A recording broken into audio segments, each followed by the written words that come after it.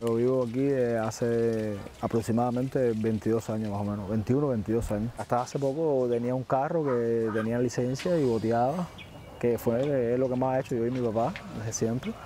Y ahora vendimos el carro y quiero dedicarme a la tierra. Pero me ha dado, eh, me ha dado bastante problema desde ahora porque a pocas, a pocas puedo trabajar casi. Eh, todo, toda la mañana tengo que dedicarla, que es la mejor parte para trabajar en la finca. Eh, tengo que dedicarse a los caracoles. Hace más, más o menos aproximadamente dos años que lo vimos por primera vez aquí. Todavía no estaban diciendo sobre nada sobre el caracol en la televisión. Ya empezamos a buscar información en internet, en el curré sobre eh, qué daños hacían, eh, cómo se, iba, se podía ir eliminando. El desayuno de todos nosotros aquí es el caracol. Desde que nos levantamos es recogiendo para que los niños, yo mismo con el niño mío tengo que estarlo vigilando, ¿me entiendes? Teniendo un espacio, un área libre donde él puede jugar ahí en mi casa, tengo que estarlo vigilando porque un caracol lo toca y se puede enfermar, ¿me entiendes? Yo y mi papá empezamos a recogerlo, simplemente recogerlo con guantes, y llenábamos y, los, y al principio los enterrábamos, abríamos huecos, los enterrábamos, porque así oíamos algunas personas que hablaban sobre ese tema. Y así fuimos inventando, buscando petróleo y echándolo en, latas, pero no daba mucho, no era muy rentable. Y al final, un día yo probando y probando, cogí un poquito de criolina y fue que empecé a probarlo goticas por goticas en la cabeza y enseguida se, se, morían al instante. Yo no podía estar tranquilo con ellos porque el problema es que se querían meter dentro de la casa, o se metían dentro de la casa, porque la casa no tenía el piso todavía y no estaba muy cerrado.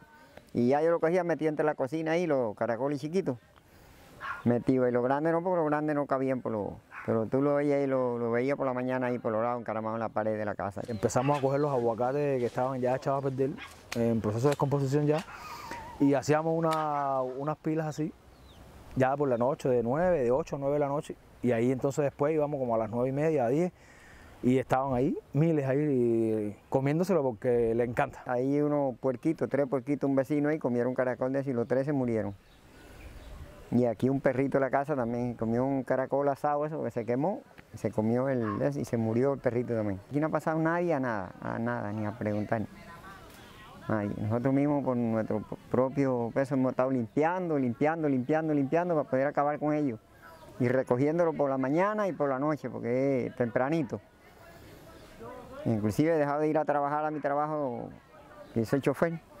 He dejado de ir a trabajar por recoger los caracoles temprano. Bastantes vecinos dicen que han llamado, que han, que han llevado varias quejas a algunos lugares, pero respuesta ninguna. Tú vas, te quejas que por los caracoles, porque si te están afectando, porque si hay muchos, si las enfermedades, dicen es un trabajo individual, eso es de cada cual.